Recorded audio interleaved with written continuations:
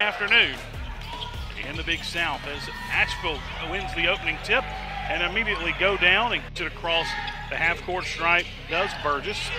Dump it down low inside. On that dribble drive penetration, but he made the nice kick out of that. Pember dumps it down inside to McMullen. Staff, nice call. Can't let him catch it that low, Tyler. McMullen inside again. Goes in, lowers the shoulder, no call, dumps it down, and McMullen again. Call. Pember takes the pass, goes Wow. up, knocks down the jumper. 6'11, ball closer to the basket, or being more careful. Careless pass there Ball by Petaway. stolen away by Battle. He'll go all the way to the basket or pass it down rather to number 14. McMullen inside. He's going to slam one down himself. Or else it was assist or whatever. Look at that bucket. You kidding me?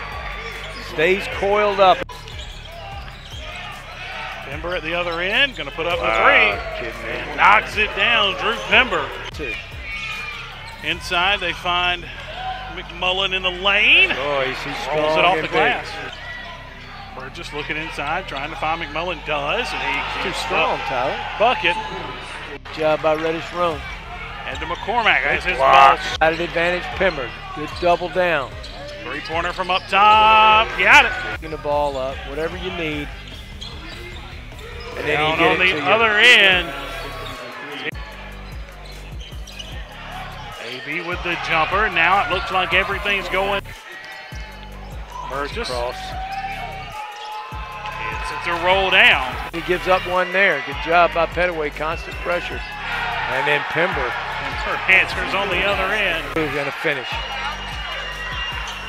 Just like that, it's a two-point game. We'll make it a four-point game. Pember. Inside, goes up, shot That's good. That's tough, Tyler. Drew Pember with 33.4.